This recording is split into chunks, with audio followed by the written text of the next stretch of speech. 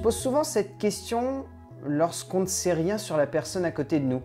Ça se peut être un étranger, ça se peut être un inconnu, mais en tout cas on ignore le but de cette personne dans la vie.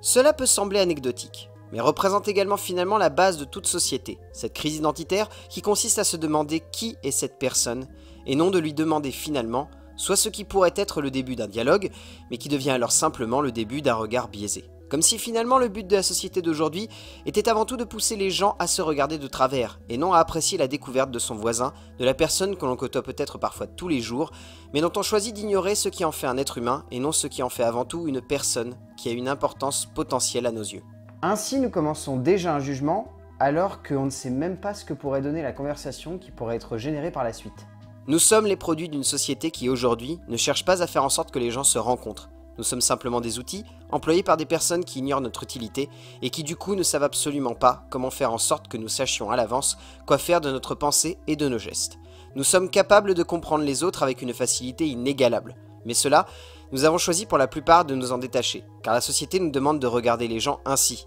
alors que nous devrions mieux cerner notre prochain afin de mieux réussir à conquérir le monde main dans la main finalement. En faisant cela, on se dit que cette stratégie pourrait marcher,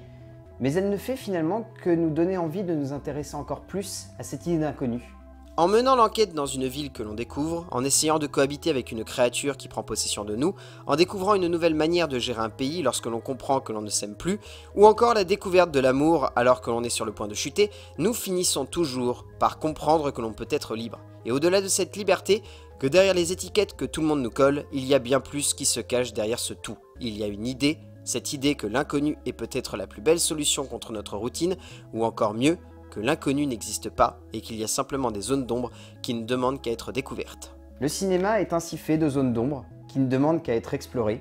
et refaçonnées à notre manière.